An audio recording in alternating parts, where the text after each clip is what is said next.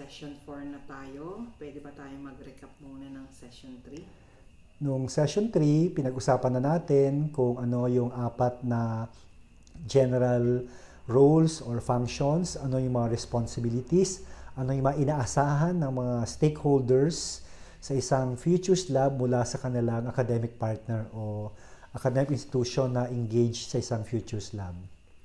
Ano naman ang topic natin sa session 4? Simula sa session na ito hanggang sa mga susunod na session, pag-uusapan natin isa-isa yung apat na inaasahang mga gawain o mga roles and functions ng isang academic partner sa isang Futures Lab. So, yung pag-uusapan natin sa session na to specific sa training at saka faculty development. Ano ang ibig sabihin ng training and faculty development sa kon- sa konteksto ng isang Futures Lab? Siguro unang-una, kailangan nating ipaliwanag na sa konteksto ng isang Futures Lab, yung training na kalakhan o malaking bahagi ng ginagawa ng isang academic institution para sa kanyang mga stakeholders, yung training na yan o yung mga pagsasanay na yan ay unang-una outcomes-based. Pangalawa, ito ay practitioner-centered. At pangatlo, ito ay competency-based. No? So, outcomes-oriented, uh, practitioner-focused, at competency-based. Anong ibig sabihin ng mga ito? Unang-una, yung Futures Lab, at uh, dahil dito kasama yung AP, yung gusto silang gawin ay talagang mapaunlad o mabago yung mga outcomes, social outcomes. No? So, hindi lamang sila nagsasana yung nagtitrain para uh, magkaroon ng report o magkaroon ng utilization o paggamit ng pondo o makapag-award ng certificate o diploma, kundi sinasagawa yung training o pagsasanay para mabago yung social outcomes o mabigyan ng capacity yung mga kalahok sa kanilang uh, training program na mabago yung social outcomes kung saan sila involved. So halimbawa, kung sa public health yan, yung mga mayors at mga DOH personnel, binibigyan ng capacity sa pamamagitan ng training para mabago yung health outcomes. No? Mabawasan yung mga namamatay, nababawasan yung mga nagkakasakit, nababawasan yung malnutrition, etc. etc. So yun yung outcomes na hinihingi mula sa mga kalahok ng isang training program sa isang Futures Lab. Pangalawa, practitioner focused kasi yung mga kasali, yung mabibigyan ng pagsasanay sa isang Futures Lab ay hindi mga estudyante, sila ay mga professional na o sila ay mga practitioner, maaaring sila ay mayor, maaaring sila ay mga health workers, at hindi sila mga estudyante na naghahabol lamang ng diploma o naghahabol ng units, kundi sila ay mga practitioner na naghahabol ng karagdagang kakayahan at kaalaman, kapasidad na magawa ng mas mahusay yung kanilang trabaho para makakontribute o makaambag sa pagbabago, pagpapaunlad ng mga outcomes.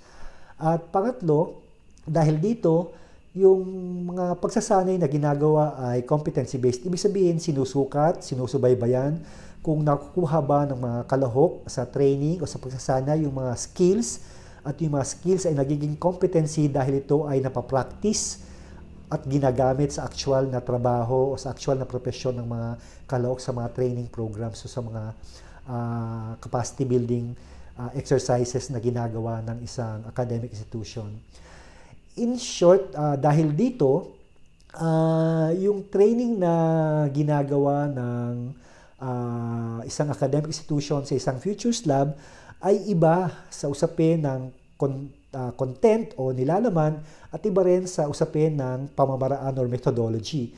Yung content ng pagsasanay o training ay leadership. So, hindi siya technical. So, hindi siya pwedeng i-download. In fact, yung leadership na tinuturo ng mga academic partners sa isang Futures Lab kung outcomes uh, focused siya at practitioner-centered ay dapat na nanggagaling mula sa karanasan at kaalaman ng mga participants. So, experiential siya.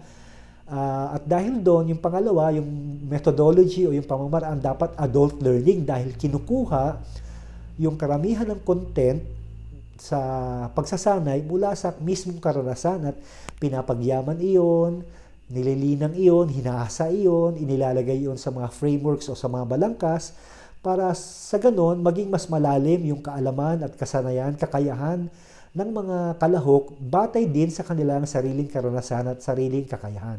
So, yun yung konteksto, yun yung larangan ng pagsasanay o training na ginagawa ng mga academic partners sa loob ng isang Futures Lab para sa kanilang mga stakeholders. Ulitin lang natin, yung training ay outcomes uh, uh, oriented, uh, practitioner focused, at competency based. No? So, dahil doon, yung content at methodology ay iba.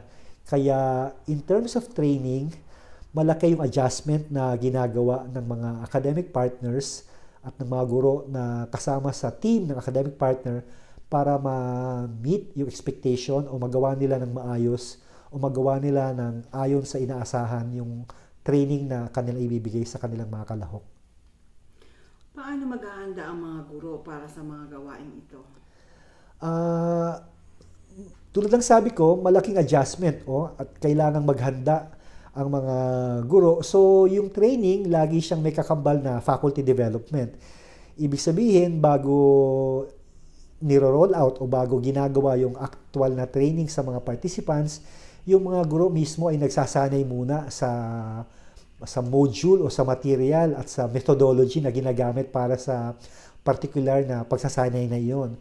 So, hindi ito uh, pangkaraniwan o kakaiba ito sa nakasanayan ng mga guro sa universidad o pamantasan kung saan sa malaking bahagi ang ginagawa ay technical na na pagtuturo o downloading pero dito kailangan ng adult learning at kailangan ng iba't ibang skills tulad ng open space, tulad ng hosting.